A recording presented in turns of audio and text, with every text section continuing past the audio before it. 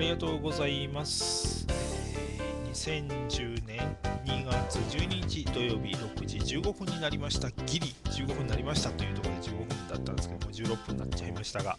さて、えーと気が向いた時にやる、えーと土曜日の6時5分拡大版6時15分、15分間喋りますけれども、今日の話題はですね、えーとこれはテクノロジー面のところですからですね、これ、えーマイクロソフトとノキアが提携したという話ですね。えー Windows Phone 7をノキア端末で採用ということで、えーなんかそんな話になってきてます。ね、これね、あの、ノキアが、Android を使わずに、この Windows Phone 7っていうマイクロソフトが出した携帯用の OS を使うという風にこなってきたわけなんですけれどもまあまだ最終的にはね、えー、とどこまでどう合意するかがちょっとまだわからないところがあるみたいなんですがどうもお読んでると。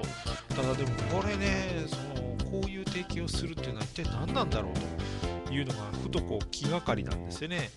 えなんで今更 Windows みたいな感じするじゃないですか Android ねまああのアップルのね、えー iPhone に関しては、あれはもう自分のところで全部作っちゃうんで、えー、と、ノキアなんかが入る余地が全くないですけども、うんたなぜ、その、Android を使わずに、マイクロソフトを使うようになってるのかというところなんですね。で、いろんな要素があるんですけど、多分一つだけでは語れないところがあるんでしょうけども、一つはその、うん、ノキアはですね、このところどうやら、えー韓国のサムソンとかに押されちゃってですね、かなりシェアがですね、下がってきてるみたいなんですね。やはりそのサムソン、非常にここのとこ強くてですね、サムソン LG ですね、あの辺り韓国勢がめちゃくちゃ携帯電話も強くなってきて、相当こう世界市場ではですね、幅を利かせ始めたと。で、それまでノキアやっぱりね、かなり強かったんですけど、ちょっと押され気味になってきててですね、でそこでなんとかこう巻き返そうということをこうしてるわけなんですよ。でただその返すのはいいんですけれどもその時にえっ、とですねあの Android を使うという手はあるんですけども Android を使おうとするとですねそれなんかあのなんていうんですかね他のメーカーもいっぱい使ってるところにこう入っていくと。確かにいろんな意味で便利なんですけどもただ方ででもこの気になることが書いてあってですねあの Android のその OS を使うのはどうもそのえっ、となんていうんですかね Google にとってはすごく有利。Google のバリューは上げるけれども Nokia のバリューを上げることにならないというようなことを言ってるんですね。で何のこっちゃいなと思って考えると要は Google にとっては Android がどんどんどんどんこう広まってくることによってそのなんていうんですかね。当然 Android のバリューは高まりますよね、まあ、当たり前なんですけども。そのえっ、となんて言ったらいいのかな。Windows がねどんどんこう世界中に広がってるように Windows って結局いろんなメーカーのパソコンに乗っかってるからものすごいバリューがあるわけですよね。えっ、とまあある意味嫌が王でも Windows を使わざるを得ない部分がありますよね。その選択肢としてほとんどないというところがあるので。それと同じように、その携帯も Android を採用するところが増えれば増えるほどですね Android のバリューはものすごい上がっていく要は Google として価値はすごい上がっていくんですけどもじゃあ Nokia はどうなのっていうと Nokia は One of Them になっちゃって、えーたくさんある中の一つに過ぎないんですよね。わかりますねこのことは。そうですね。ユーザーからすると確かに選択肢は増えるんですけどそれが別にノキアであろうがサムソンであろうが LG であろうがあの構わないわけですよ。でただ、えー、Google 側にとってはどれ買ってくれても Android が世の中に広まっていくということで Google バリューは上がるんですねで Nokia はそこに乗っかるのはちょっとどうも気に食わんなという感じだったんですね Nokia のバリューが上がるわけではないんじゃないかとでここに来てですねマイクロソフトと手を組むことによって要はあの Windows ベースのものを使いたければ Nokia を選ぶという選択肢しかなくなってくるわけですよ。でかつですねあのこのマイクロソフトの方は今やっぱり Google がこんだけ Android を広げてることについてはちょっとね嫌な思いがいっぱいあるわけですよね。あの要は携帯携帯とか言いながら普通の携帯じゃないですよね。パーソナル端末なのであのコンピューターの延長線上なんですよあのスマートフォンの場合はスマホの場合はパソコンの一部と化してくるんでそれらが連携して連動して動いてくることでものすごい価値を持つようになるんですよねでそうするとマイクロソフトとしてはパソコンというその机の上デスクトップノートパソコン要は机の上に置いて使うものはですねどんどんどんどんその自分たちとしてはこう設計してきこうしてきたわけですよね。それをこう独占してきたというかかなりの市場をこう持ってきたわけです。でところがここに来て、えー、パーソナル端末は Google の Android がどんどんどんどん幅を利かしてくることによってどうなるかというと場合によってはそっちを軸にしてですね、えー、デスクトップのパソコンの世界 PC の世界もそっちにどんどん、えー、組み込まれていくんではないかという恐れを Windows 側も、マイクロソフト側もですねすごく感じてるわけですね。でそうなるとですねだんだんその気がつくと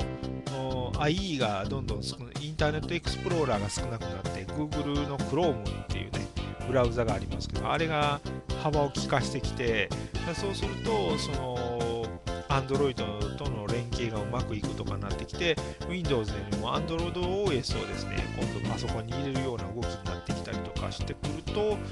マイクロソフトとしては面白くないと。いうことがあってどうもですねかなりの金を積んでですね、えー、ノキアと提携をするというような話に持ってったというのがあるみたいです。まあ、これをですね逆に今度消費者の側から見たらどうなるかとすると消費者側からするとですね、えー、一つは、えー、Apple 陣営っていうのがありますね。あの Apple の Macintosh とその iPhone とか iPad だとかそういうものでこう連携していくという一つの世界があってでもう一つはあのもう一つがそれに対屈するものがねちょっとなかったんですよ。要はどっちかというと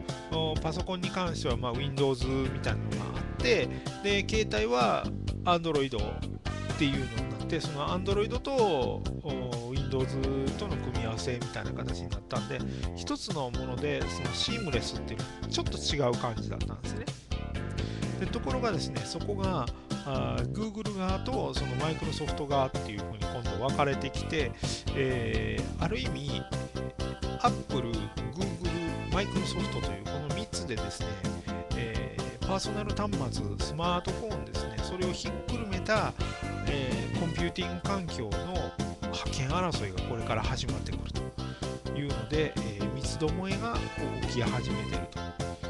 まあ、三つどもえというよりもですね、私からすると、アップルは、まあまあアップルなんで 言い方が変ですけども、アップルはアップルなんで、そんなね、あの、ぐおーってここから伸びてくるっていう風にはならないと。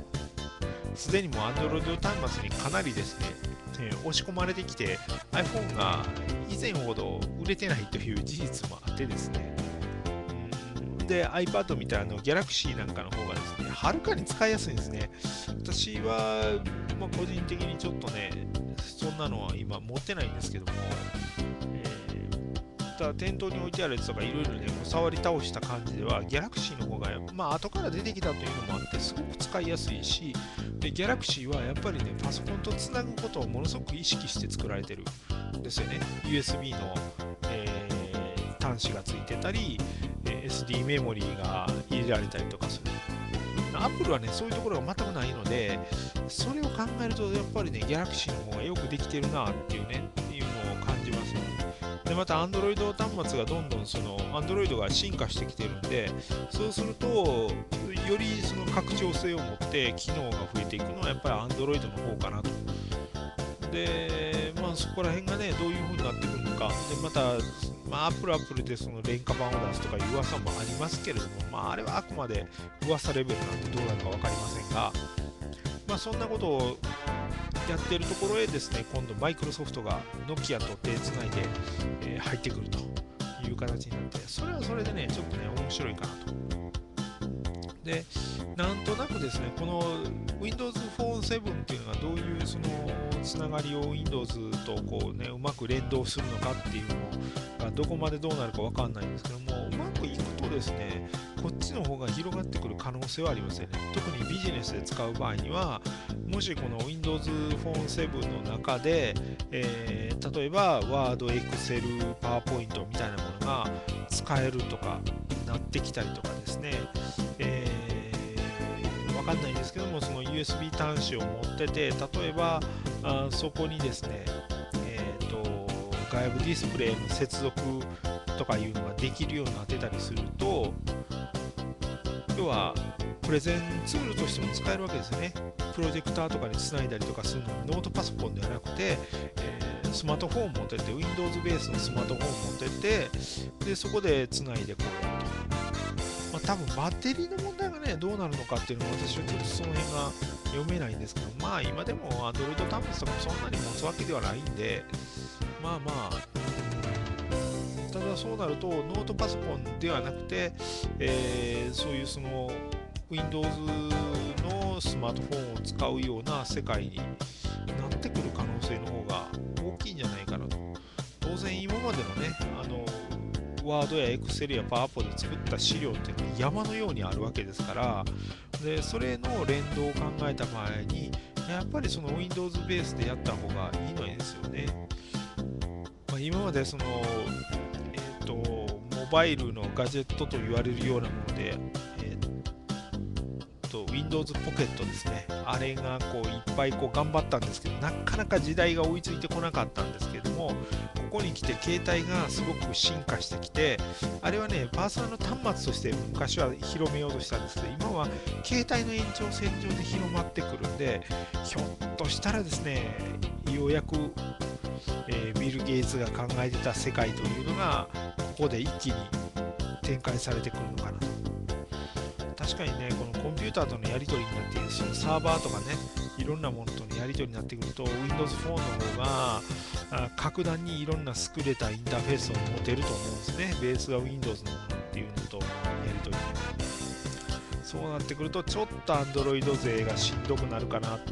まあ、それをなんとかしようと今、Android の方も、どんどんどんどんバージョンアップをしていったりとか、そんなことをやってるような状況じゃないかなというふうに思います。まあ、個人的にはね、そんなに Windows 大好きというわけではないですが、利便性を考えると、Windows Phone 7を乗っけたスマート端末の方が、えー、使いやすいというような気がしています。